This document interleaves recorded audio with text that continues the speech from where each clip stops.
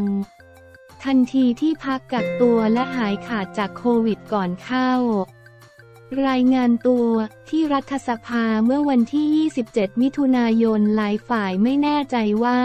ผ่านธุระในการดีดกีตาร์ร้องเพลงสำคัญอย่างไรในท่ามกลาง มรสุมที่รุมล้อมเข้ามาโดยรอบไม่ว่าจะเป็นมรสุมจากปัจจัย ภายนอก ที่ไม่เคยหยุดยั้งเห็นชัด ตั้งแต่กรณีการถือครองหุ้นไอทีวี ตามมาด้วยการรุกไล่ในเมื่อมีการขายที่ดินจากกองมรดกที่ปราณบุรี ประจวบคีรีขันธ์ยังข้อกล่าวหาในเรื่องแบ่งแยกดินแดน และมาตรา 112 ไม่ว่าท่าทีของตุลาการสารรัฐธรรมนูญ ไม่ว่าท่าทีของคณะกรรมการการเลือกตั้ง ไม่ว่าท่าทีของคณะกรรมการป้องกันและปราบปรามทุจริตคอร์รัปชัน ตลอดจอจานนหนู 250 สวล้วนดำเนินไปในลักษณะเขย่าวขวัญ ทางการเมือง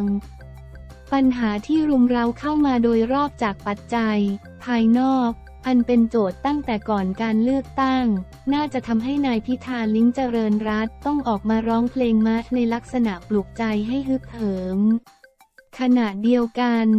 โจทย์ทางการเมืองเนื่องแต่ตำแหน่ง ประธานสภาที่ยื่นมาโดยพักเพื่อไทยก็เด่นชัด ยิ่งว่าร้อนแรงแหลมคม ความร้อนแรงแหลมคมอันมาจากพักเพื่อไทย เป็นความร้อนแรงแหลมคมอันถือได้ว่ามาจาก พันธมิตรในแนว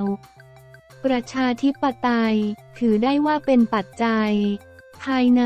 ภายใต้บันทึกช่วยจำหรือ MOU ที่ร่วมลงนามกันตั้งแต่วันที่ 22 พฤษภาคมน่าจะเสริมความอบอุ่นความมั่นใจ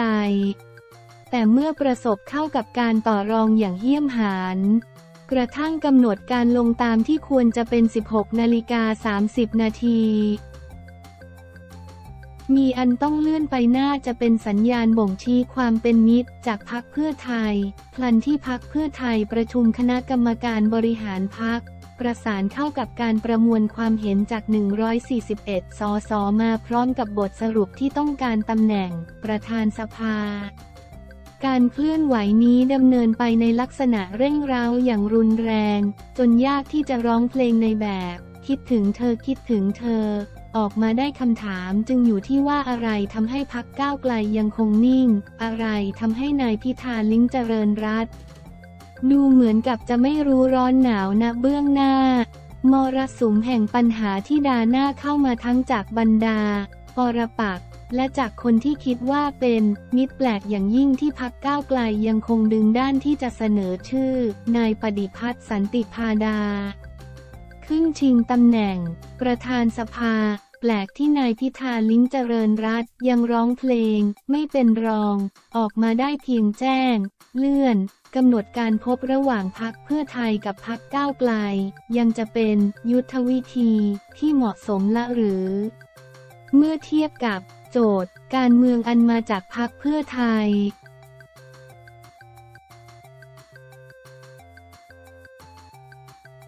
รัฐบาลชูท่องเที่ยวสายมู Amazing Multiverse เปิดจักรวาลสายบุญ เจาะกลุ่ม LGBTQ รัฐบาลชูท่องเที่ยวสายมูจัดงาน Amazing Multiverse เปิดจักรวาลสายบุญ เจาะตลาดกลุ่ม LGBTQ ผ่านแคมเปญ Go ไทยบีฟรี วันที่ 28 มิถุนายน 66 นายอนุชา บุรพชัยศรีรองเลขาธิการนายกรัฐมนตรีฝ่ายการเมือง ปฏิบัติหน้าที่โฆษกประจำสำนักนายกรัฐมนตรี เปิดเผยว่าการท่องเที่ยวแห่งประเทศไทย ททท ได้จัดกิจกรรม Amazing Multiverse Amazing Multiverse เปิดจักรวาลสายบุญ ระหว่างวันที่ 30 มิถุนายน ถึงวันที่ 2 กรกฎาคมนี้เวลา 10.00 ถึง 21.00 น ที่ห้างสรรพสินค้าเซ็นทรัลเวิลด์สำหรับกลุ่มนักท่องเที่ยวเชิงศรัทธาแสวงบุญควบคู่กับการส่งเสริมการท่องเที่ยวในกลุ่ม LGBTQ บวกผ่านโครงการ Go Thai Be Free สร้างเครือข่ายการท่องเที่ยวผ่านกิจกรรมต่างๆ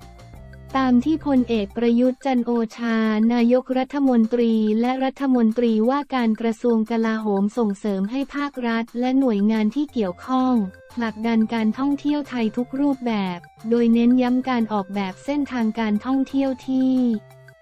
ตอบโจทย์ความต้องการของนักท่องเที่ยวในแต่ละกลุ่ม ในงานจะนำเสนอสินค้าท่องเที่ยวกลุ่มศรัทธา ความเชื่อและภูมิปัญญาไทย ประกอบด้วยศาสนสถานวัดสิ่งเคารพและศรัทธาวัฒนธรรมและภูมิปัญญา และการท่องเที่ยวโดยชุมชน พร้อมทั้งยังได้ออกแบบเส้นทางท่องเที่ยว 12 เส้นทางทั้ง 5 ภูมิภาคของไทย เพื่อประชาสัมพันธ์การท่องเที่ยวเสริมพลังบุญหนุนพลังใจ รวบรวมศาสนสถานวัดและสถานปฏิบัติธรรมทั่วประเทศ พื่อขอพรเสริมสิริมงคล โดยสามารถติดตามรายละเอียดเพิ่มเติมได้ที่เว็บไซต์ นายอนุชากล่าวว่าการท่องเที่ยวเชิงศรัทธา หรือการท่องเที่ยวมูเตลูกำลังได้รับความนิยมต่อเนื่อง สอดคล้องกับข้อมูลของกระทรวงพาณิชย์ ที่ระบุว่าปี 2562สร้างรายได้หมุนเวียนในระบบสูงสุดถึง 1,800ล้านบาท โดยประเทศไทยเป็นจุดหมายปลายทางการท่องเที่ยวที่มีวัฒนธรรมโดดเด่น เชื่อมโยงอัตลักษณ์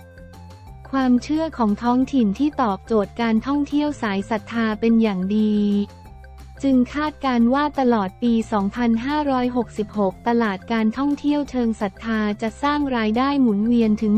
15,000 ล้านบาท นอกจากนี้ททท ยังได้ส่งเสริมการท่องเที่ยวสำหรับกลุ่ม LGBTQ บวกที่เป็นอีกตลาดนักท่องเที่ยวที่มีศักยภาพ มีกำลังซื้อสูงโดยเว็บไซต์ LGBT Capital ซึ่งเป็นศูนย์รวบรวมข้อมูลของกลุ่มผู้บริโภค LGBT สำหรับภาคธุรกิจและการลงทุนต่างๆ ระบุว่าในช่วงปี 2562 ประเทศไทยมีมูลค่าการตลาดด้านการท่องเที่ยวของกลุ่ม LGBT Estimate LGBT GDP Tourism Impact จำนวน 6.5 พันล้านดอลลาร์สหรัฐ ซึ่งไทยถือเป็นอันดับหนึ่งในเอเชียและเป็นอันดับ 4 ของโลก รองจากสหรัฐอเมริกาอันดับที่ 1 25.6 พันล้านดอลลาร์ สเปนอันดับที่ 2 8.1 พันล้านดอลลาร์สหรัฐ และฝรั่งเศสอันดับที่ 3 7.3 พันล้านดอลลาร์ โดยททท ได้จัดทำแคมเปญ Go Thai Be Free พื่อกระตุ้นตลาดนักท่องเที่ยวกลุ่มดังกล่าวจากทั่วโลกให้เดินทางมาเที่ยวไทยอย่างต่อเนื่อง โดยร่วมมือกับภาคส่วนต่างๆ ส่งเสริมการขายผ่านการนำเสนอเส้นทางการจัดงานและกิจกรรมการท่องเที่ยว รวมถึงปาร์ตี้สำหรับกลุ่ม LGBTQ บวกผ่านเว็บไซต์นายอนุชากล่าวว่า นายกรัฐมนตรีเน้นย้ำถึงการส่งเสริมการท่องเที่ยวไทยผ่านการจัดงานและกิจกรรมต่าง